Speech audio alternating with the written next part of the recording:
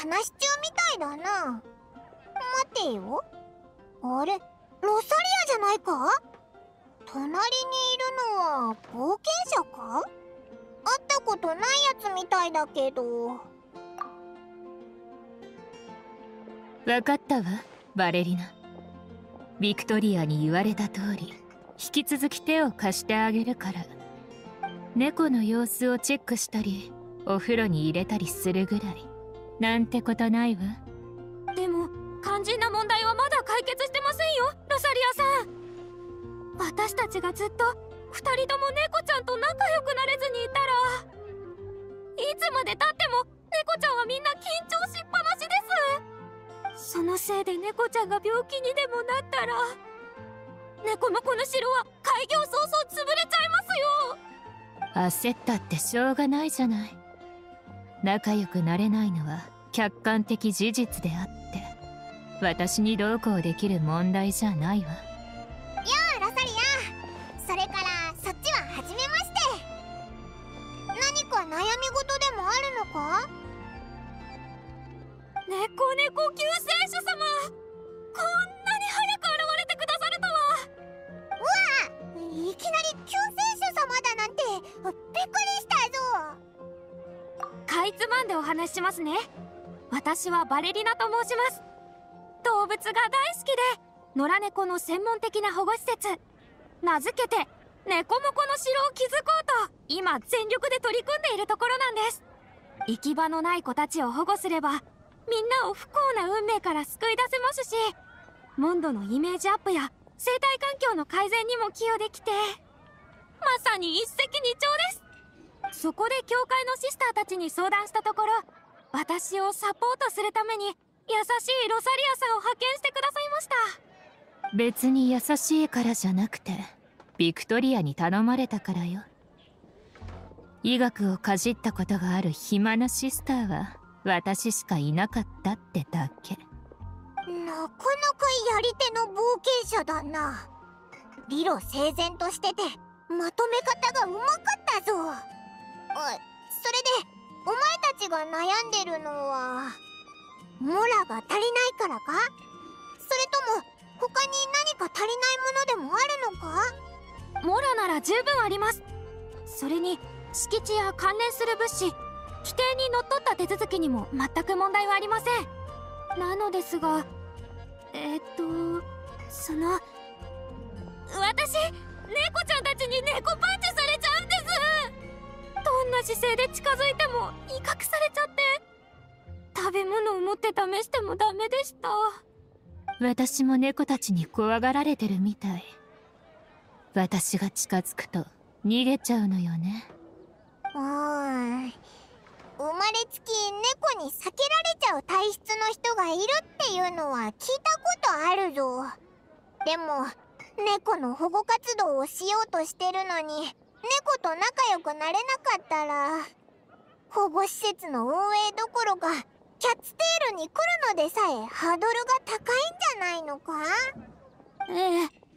それでその方面の専門家に相談しに来たんですがマーガレットさんもこれといったコツは思いつかないそうで。だからといってお店の人手をこちらに割いていただけるほどの余力もないみたいです。でもこうも言ってくださいました。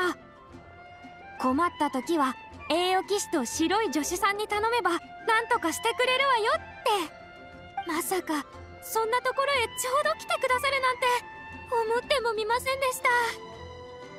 お二人はまるでバルバトス様が派遣してくださった使者。救世主です。バルバトスに猫の世話についての知識があるかどうかはさておき。オイラたちも保護施設の運営経験なんてないぞ。急に救世主だなんて言われても。確かにそうだな。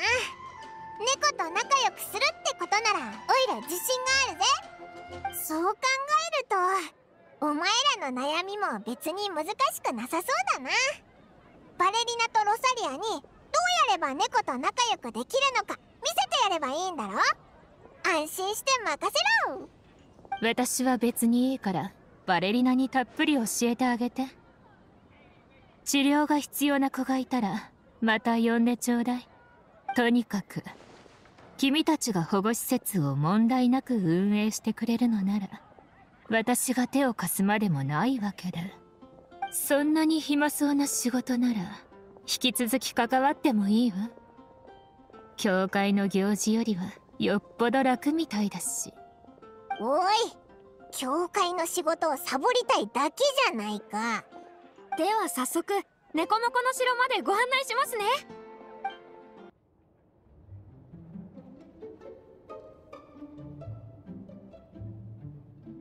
城って名前なのになんの変哲もない普通の家だな。これでも町にある空き家の中では一番大きな物件なんですよ。家賃もさほど高くないしキャッツテール風の内装一式の費用と半年分の家賃を合わせてたったの数百万モラで済みました。計画では健康状態のいい猫ちゃんについては引き取り許可書を発行する予定なんです。もし責任を持って世話をすると約束できる方が現れれば相性の合う子を連れて帰ってもらうという流れにしようと思っていてなので今の敷地でも十分賄えると思います。今後事業が拡大すれば野良犬や他の困っている野生動物たちだって保護できるかもしれません。そうなったら施設名をモコモコの城にしたいと思ってるんです。君の計画がうまくいっ猫と相性の合う引き取り人が現れることが前提だけどね。お？お見ろあそこの猫オイラたちを待ってるみたいだぞ。はあ。あの白猫はすごい人見知りなんです。お風呂に入れる時も脱走しちゃってやっとのことで連れ帰ってきました。真っ白でふわふわで雪で作ったお餅みたいだよなそうだ。雪大福って名付けてやろうぜ。ひひ。お前がつけた名前も悪くないけどやっぱり雪大福って名前が気に入ったみたいだぜ。よー雪大福。よしよしいい子だな。雪大福一緒に遊ぶか？ほらこっちだぞままだ出会って1分も経ってないのにもう猫ちゃんが懐いてるなんて。ロサリアさん白い助手さんってもしかして魔法使いさんなんですか？猫猫白魔法使いさんとお呼びしてもいいですか？広い猫でも可愛い名前をつけてやって優しく声をかけてやればそのうち懐いてくれるぞ。ただしまずは自分のえー、っとあそうそう。雰囲気には気をつけないとダメだぞ。例えばバレリナがおどおどしながら近づいたら猫だって不安になっちゃうだろ。それにロサリアお前はもっと表情を。拾われた子にも優しく呼びかければ運命をさまよえる命に温かい眼差しを向けてくれる。モンドのこういう雰囲気は確かに悪くないわね。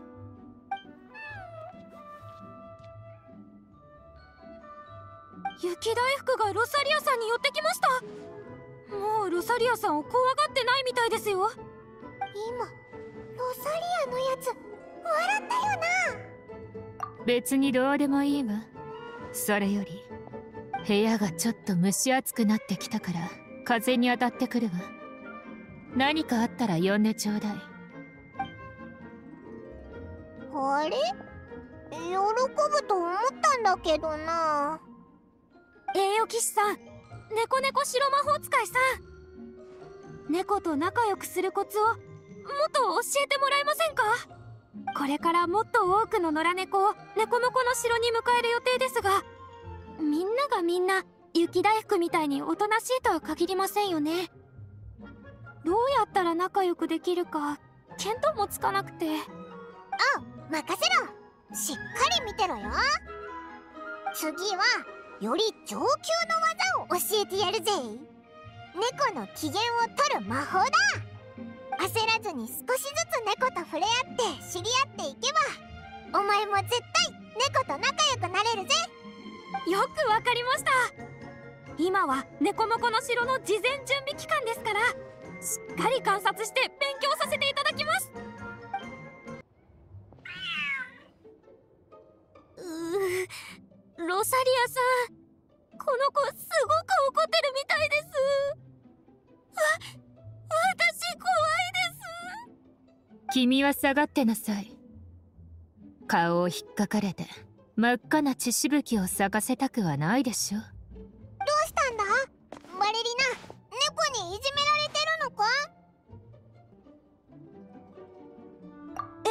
栄誉騎士さん猫猫白魔法使いさん。雪大福をお散歩させてたらこのでっかい猫ちゃんに目をつけられて一緒に入ってきちゃったんです。落ち着いて。ここじゃ誰も君を傷つけたりしないわ。凶悪な者も。君に悪いことを強いる奴らもみんな塀の外よ。ここでなら君は優しい人たちに囲まれていられるわよ。鬱陶しく感じることもあるかもしれないけど。みんな君のことを思うからこそうるさくするの。だから肩の力を抜いてゆったり過ごしてみるのも悪くないと思うわ。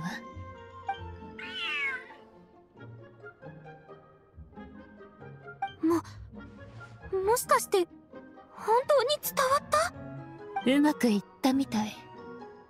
頭のいい猫ね。こいつ他の猫と比べると本当にでっかいな。バブルオレンジのジュースみたいな色だぜ。お？スカーフをしてるぞ。騎士団のマークがついてる。そうだ。こいつのことはオレンジ騎士って呼ぼうぜ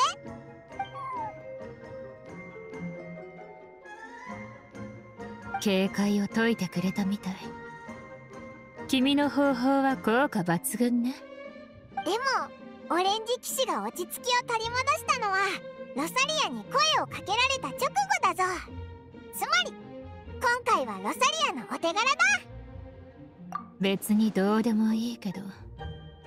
まこんなに可愛い面倒事なら多くても困らないわオレンジ騎士がなんで怒ってたのかわからないけど魔法の力でもっとこいつの機嫌を良くしてやろうぜ。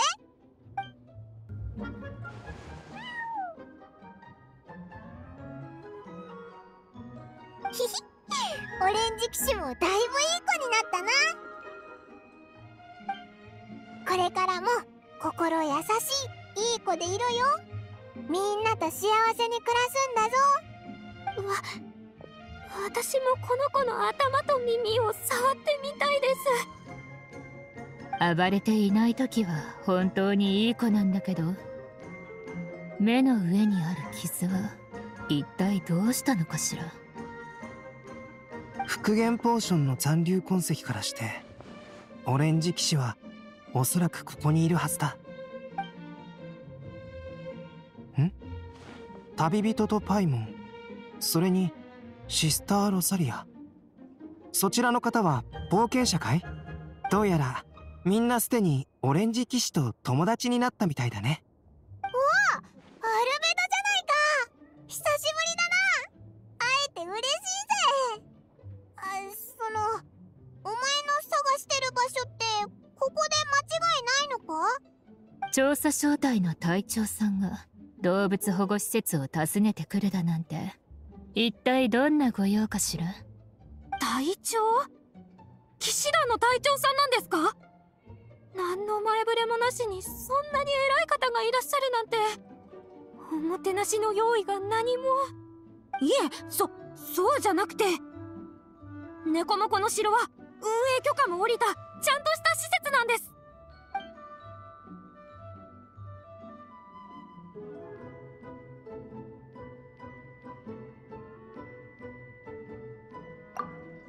緊張する必要はないよ。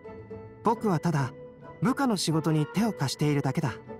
今回訪ねてきたのはその猫のためだよ。先日臨時猫隊員奨励ナンバー3オレンジ騎士が世話係の武器官を気絶させ縄文まで逃げたところで行方がわからなくなっていたんだ。騎士団の紋章を身につけた調査小隊所属の大きな猫が城内で騒ぎを起こした。と知られればあまりいい影響にはならないだろう。だから早めに事態を収めた方がいいと思ってね。オレンジ騎士が調査小隊の騎士を気絶させたのかよ。さっきこいつの名前の前に長ったらしい称号みたいなのをつけてたけど何か事情でもあるのか？実は2ヶ月前にもオレンジ騎士は野外で迷子になってしまったんだ。その時トリックフラワーの蜜を食べてしまったらしくて体が3倍のサイズに膨れ上がってしまってね。ただ詳しい原因は現時点ではまだ分かっていない。3倍？普通のサイズの猫だって怒り出したら結構怖いのに。3倍のサイズって言うとヒルチャールにだって襲いかかれだぞそう道理であんなに緊張してたわけだわ。猫にとって。いや。全ての野生生物にとって。体が大きいことにさほどメリットはないのよ。むしろ目立ちやすくなる上動きも鈍くなりがちで。敵にすぐ見つかってしまうという危険に常にさらされ。捕獲者に攻撃される頻度も上がることになる。つまり極度の恐怖の中で生きることになるのよ。その通りだよ。調査小隊の拠点近くでオレンジ騎士を見つけた時体は傷だらけでかなり怯えていた。相当辛い目に遭ってきたんだろうね。そんなかわいそうに。私この子に攻撃されたって。もう悲しいなんて思いません。だって私がもしこの子の立場だったらきっと見知らぬ人や動物を警戒してたはずですから。いやすでに問題は解決したから心配しないでくれ。前に錬金薬の影響を消すことのできる復元ポーションを開発したんだけどそのポーションでオレンジ騎士を元の姿にかなり近づけることができた。普通の猫と比べればまだ大きいけど少なくとも生活に支障はなくなったし騎士たちも交代で世話ができるようになった。オレンジ騎士というのはクレイがこの子の色にちなんでつけてあげた名前だよ。みんなもぴったりの名前だと思ってスカーフまで作ってあげたんだ。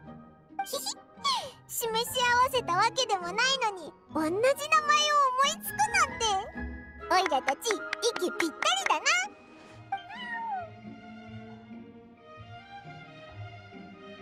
でも後遺症かな。オレンジ騎士は人に会うたびひどく緊張して警戒態勢に入るものだから武器官や信号官たちは毎回大変な目に遭わされていたよ。クレイもしょっちゅう拠点に来られるわけじゃないしね。そんなこの子が2人にこんなに懐くなんてね。正体のみんなもこの様子を見たらきっと驚くと思うよ。それはもう偉大なる救世主。栄誉騎士さんと猫猫白魔法使いさんの手にかかれば。どれだけ凶暴だった猫も2人としばらく一緒に遊べばすぐにおとなしくなって可愛い一面を見せてくれるんですよ。そうか。なら旅人とパイモンオレンジ騎士を引き取る気はないかい？いいのか？あでもオレンジ騎士はお前の正体の猫隊員なんじゃないのか？実は臨時猫隊員という肩書きもその場しのぎでつけたものでね。もともと順調に回復したら責任を持って引き取ってくれる人を探すつもりだったんだ。調査小隊は騎士団の作戦部隊の一つだからこの子にとって理想的な居場所とは言えないと思う。顔なじみの騎士が出動するたびに拠点に残されたオレンジ騎士は不安になってしまうだろうしかといってタイと一緒に行動させれば再びこの子を恐怖にさらしてしまう。賢明な判断だと思うわ。一度恐怖に襲われた子はできるだけ刺激から遠ざけてあげた方がいいでしょうね。完全に心が癒えるまで少しずつトラウマを取り除いてあげないといけないわ。にあったかい猫ハウスを作って住んでもらうのはどうだ？あそこなら魔物にいじめられる心配もないし安心して幸せに暮らせるぜ。